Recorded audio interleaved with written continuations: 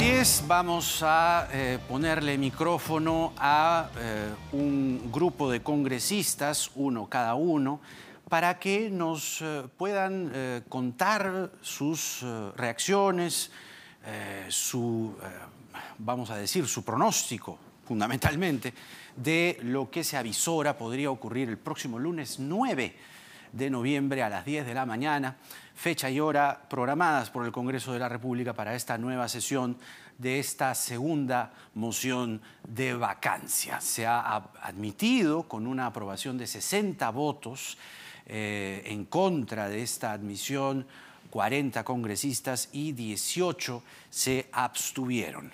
En primer término ya está con nosotros el congresista de Podemos Perú, José Luna Morales. Señor Luna, ¿cómo está usted? Muy buenas noches, bienvenido. Jaime, muy buenas noches. Eh, en septiembre, concretamente, no se consiguió que esta vacancia eh, pueda eh, tener los votos necesarios para que finalmente sea destituido el presidente de la República. Según la ley son 87 votos que se necesitarían. Eh, eh, ¿Qué haría hoy la diferencia? Bueno, en- eran escenarios completamente diferentes. En, la- en ese momento se estaba juzgando al presidente por manipular testigos y tratar de mentirle a la Fiscalía y al Congreso.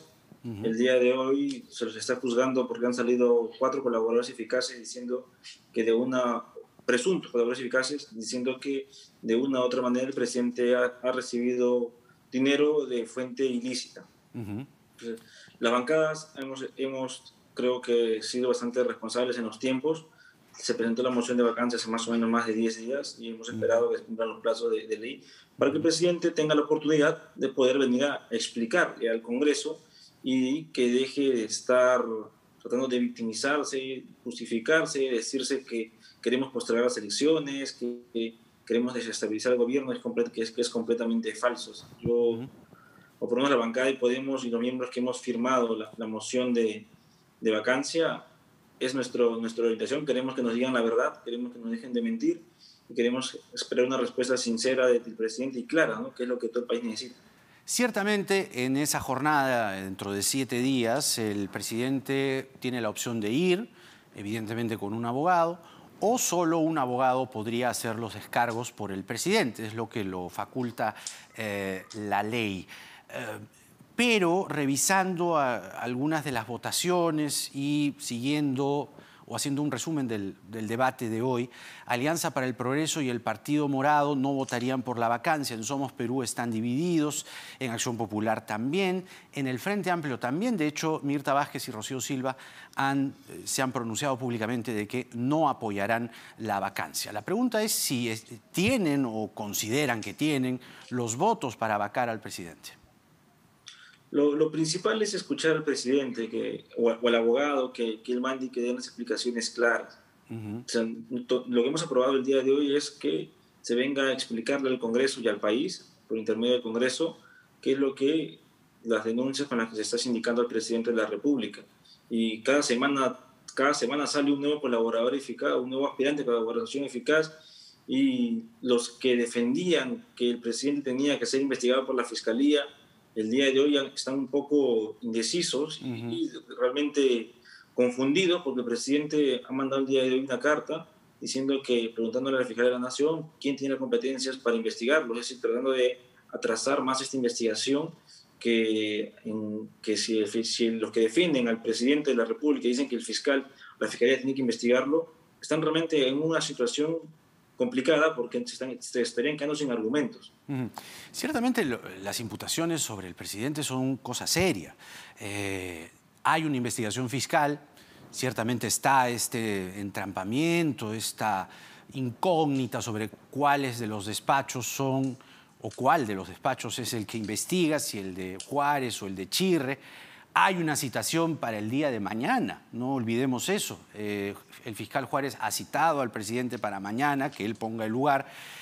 Y se está proponiendo también una comisión parlamentaria eh, que investigue, una comisión investigadora, cuya prerrogativa el Congreso la tiene eh, de hecho y de derecho. Ah, y también hay un proyecto del Partido Morado sobre impedir la salida del país de un presidente que termina su mandato por el plazo de seis meses. Si estas tres cosas suceden, ¿No consideraría ya innecesaria una moción de vacancia?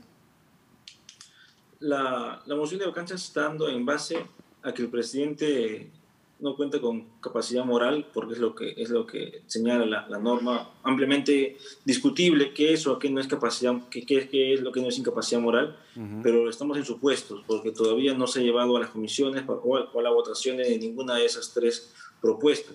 La propuesta del Partido Morado obviamente tiene bastante asidero debido a que la mayoría de nuestros últimos presidentes han, se han, han escapado del país, han fugado del país o han estado vinculados a un acto de corrupción.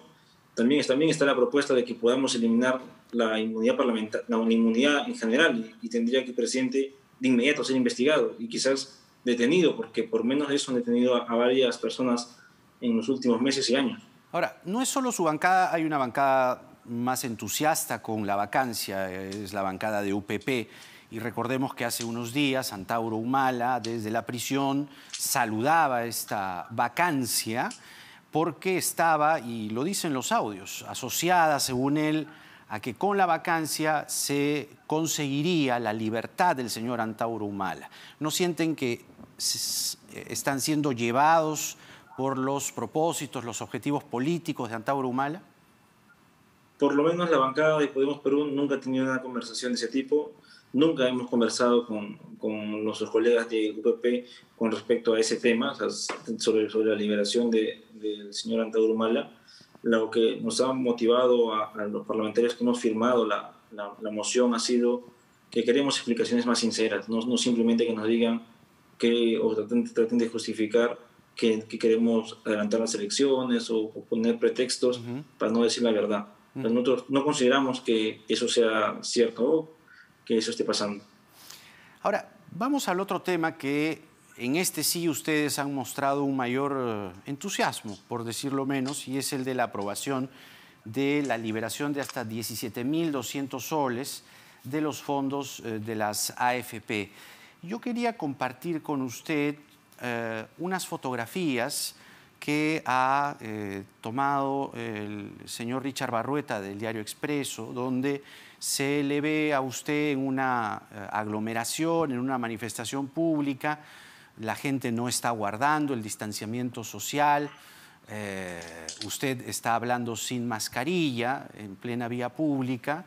Me parece que hay otra fotografía también, eh, también la congresista Cecilia García. Eh, este tipo de, acciones o de movilizaciones o concentraciones públicas, señor Luna, ¿no le parecen inoportunas a la luz de una pandemia? La, las movilizaciones se han venido dando los últimos tres meses, no solamente ha sido la de, la de, la de hoy. Le hoy día decidimos salir, en ese partido salimos, nosotros salimos a, a, saludar a nuestros hermanos de la, de la FP que venían luchando y esperaban, creo que Pero como no tenían el distanciamiento casi dos millones. Estaban todos aglomerados, sí, la, hubo, hubo, ahí un, una, quizás un, un error de parte de nosotros como congresistas que también debimos haber mantenido la distancia, yo tenía puesta la mascarilla, la mascarilla se me salió cuando estaba, cuando estaba hablando y no permitía poder hablar y, y poder terminar la reunión, porque si, si, si, se dieron cuenta, después que salimos nosotros, ellos se, se, todos se retiraron y se esparcieron volvieron a sus casas porque tenían hoy día la esperanza de que se aprobara el 100% de la, de la liberación de fondos. Ciertamente, eh, saludamos que usted admita que ha sido un error, porque esa clase de errores ciertamente pueden eventualmente eh, ir contra la vida de la gente o que el número de contagios se incrementen. Una de las políticas sanitarias a nivel mundial es precisamente no generar aglomeraciones y como lo hemos visto todos en esa manifestación, nadie respetaba el distanciamiento social. Pero hablando precisamente del 100% de los fondos, que era una propuesta que, como usted bien señala, querían apoyar e impulsar, hemos eh, escuchado unos audios en el que la congresista Cecilia García, de su bancada, señala que con, el cuatro, con, con las cuatro UITs, que es lo que finalmente se ha aprobado, ella estaba feliz.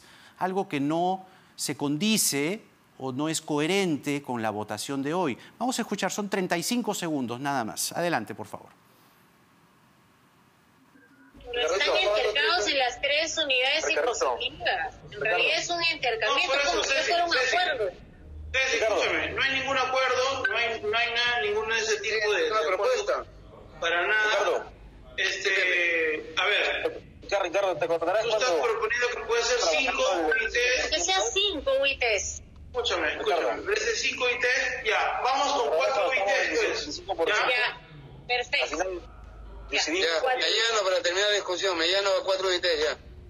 Ya, con 4. Yo estoy feliz con 4 aunque sea. ¿Qué pasó? la, lo- yo, estaba, yo estaba en esa reunión, yo estaba, era una reunión en la cual estábamos debatiendo todos los miembros de la comisión, el mismo, el mismo titular de la Comisión de Economía de, de Podemos Perú es, soy yo, la Sí. señora secretaria es la congresista Cecilia, ya, y estábamos discutiendo y lo que se comenzó discutiendo era porque ellos habían presentado un texto sustitutorio en los cuales pedían tres UITs. Pero dice la señora García que con cuatro UITs ella está feliz, entonces ¿por qué Claro, continuar con el propuesta 100%? era- la, primera propuesta, la primera propuesta era de tres OITs, pero la propuesta de lo que ella, o sea, ella no es la voz indicada dentro de la comisión para poder aprobar o no aprobar la propuesta de la bancada, porque el titular del- Pero de es una yo. propuesta de su bancada, el 100%, y ella parte, pertenece a su Por bancada. supuesto. Entonces, Claro, pero en las comisiones hay miembros titulares y ejercitarios. Ya, pero la señora García hoy ha votado en contra de la propuesta de, los, de las cuatro UITs. Entonces, Por- la, pro- hoy día toda la bancada de Podemos ha votado en abstención debido a que en el pleno pasado, la sesión pasada del Congreso, todos los, o la gran mayoría de los congresistas que tomó, tomó la palabra pidió el 100%. No, no, no estaban de acuerdo con las cuatro UITs. Se recordarás el pleno pasado, todos decían 100% porque hay 12 proyectos de ley, de los cuales 10 son del 100% y solamente dos decían con topes de 3 UITs. claro, pero eh, no es coherente, repito, con lo que en esa reunión se escucha. Todos hablan de tres UITs, cuatro UITs, cinco UITs, y es lo que se ha aprobado hoy, cuatro UITs, y la señora García dice, estoy feliz con cuatro UITs. ¿Por qué entonces eh, insistir con el 100% si allí más bien lo que se escucha es otra cosa? La propuesta de la bancada y la propuesta de la, la voz autorizada dentro de la Comisión de Economía siempre ha sido la del titular y es la que al final ha, ha pesado, porque en esa votación, ese día se, se pasó a votación, yo voté como en contra de, ese- de ese- de esa propuesta de cuatro ITs. ¿Y cómo explica después de la, la reacción o la votación de su congresista García, digo su porque es de su bancada, cuando en esa sesión decía con cuatro UITs estoy feliz, pero después en la votación dijo que no? O sea, se da cuenta, es una congresista de su bancada. Claro, ella, ella, tiene, ella tiene que responder por, por, por su cambio de, de, de- de- de idea de votación, pero la propuesta de Podemos siempre ha sido el 100%, por lo menos de los, los, de los miembros titulares de la, la Comisión de Economía, no solamente en Economía, también en Presupuesto, también en Trabajo, también en la Comisión de Defensa del Consumidor que yo presido. Entonces, Bueno, así ha sido nuestra posición es- en, todo, en todo momento y es como se llama su No es muy coherente, ¿no? en esa comisión. No es muy, no es muy coherente si en una sesión reservada, en una sesión del Congreso se dice una cosa y después en el- la votación se dice otra, ¿no? Creo que eso queda claro. Claro, la, la votación del partido ha sido coherente. Nosotros hemos tenido una posición de, No, del 100%, partido no, pues si ella ha votado después que no, ha dicho me Pero es- abstengo o en contra, y, pero en la sesión dice otra cosa, me, me dejo entender. Los, los, que los que llevan la voz del partido son miembros titulares. Entonces, son los que tienen capacidad de voz y voto. Los necesitarios solo tienen capacidad de voz y no tienen voto dentro de la comisión. Usted podrá ver la votación de ese día. Yo voté en contra de ese, proyecto y presenté mi texto en minoría para que después pueda ser debatido en el Pleno y discutido con, con la Comisión de Economía. Igual queda, digamos, la sombra de la duda. Finalmente, señor Luna, eh, se ha conocido que su padre, José Luna Galvez, va a liderar la lista de candidatos al Congreso por Podemos Perú, pero a su vez es investigado por lavado de activos. ¿Busca el señor Luna Galvez inmunidad en el Congreso librándose de esta investigación? No, de, ninguna manera. Él no pensaba postular. Ha sido una, un tema que, la- que las bases y la dirigencia del partido le ha pedido que, que postule él para que pueda representar la, la- al partido y pueda seguir haciendo los cambios que, se, que, se, que Podemos ha llevado a este nuevo Congreso y que continuemos trabajando con los cambios que tenemos proyectados para el próximo 2021. O sea, de ninguna manera él ha seguido cumpliendo con todas las citaciones que le han mandado la Fiscalía. Está siendo investigado por, por presuntos actos de, de lavado de activos de un colaborador eficaz que al final es que quien, quien tiene el desbalance patrimonial, eso, eso es lo, lo real, y, y él no en ninguna, de ninguna manera busca tratar de buscar la inmunidad, porque pues, acuérdate, Podemos Perú está impulsando que podemos eliminar la inmunidad para todos. No, claro, pero digamos, si su padre sale elegido, conseguiría automáticamente la inmunidad parlamentaria sin perjuicio de esta investigación, mejor dicho, habría mayor Siempre- problema para poder siempre- avanzar en esta investigación porque ya tiene cuando, la protección de la cuando- inmunidad. Siempre y, cuando este, siempre y cuando este Congreso no apruebe la eliminación de la inmunidad, que es, un- que es una propuesta que tiene, tenemos hasta diciembre para poder llevarlo al voto, que es la, que es la idea de, de, por lo menos de la mayoría de las bancadas. Porque no son pocas las cosas que penden concretamente sobre su padre. Su universidad, Telesub, no obtuvo el licenciamiento de SUNEDU por las graves no deficiencias que ver, conocidas. no- no- no es- Telesub, además, es investigada por ser una fachada o presunta fachada para lavar activos. Habría recibido Disculpa, presuntas coimas de la empresa está- Odebrecht y OAS para Solidaridad Nacional y se le encontraron documentos relacionados a presuntos falsos aportantes de Solidaridad Nacional. Eso es en grueso la investigación o las investigaciones que penden sobre su padre. Es, una, es, una investiga es solo una, una investigación que está en base a un colaborador eficaz, que es quien hasta ahora se ha demostrado que Igual que Vizcarra. de más de, de más de 3 millones. Lo mismo que Vizcarra. Son colaboradores los que dicen que han recibido sobornos. Lo de Vizcarra son cuatro colaboradores eficaces que dicen que ha recibido sobornos. Y, y en el caso de su padre también es la misma figura de colaboradores eficaces. Es un solo colaborador eficaz que sabemos, Bueno. que, que- quién, sabemos quién es y que es el que tiene balance patrimonial por, por más Pero se da 3 cuenta. ¿verdad? Eh, ¿Hace la diferencia que sean más colaboradores eficaces respecto a un hecho que está en investigación? No, o sea, no se, no se ni la diferencia. La cuestión es no- la- el tema es no correrse de la justicia, eso es lo que hace la diferencia.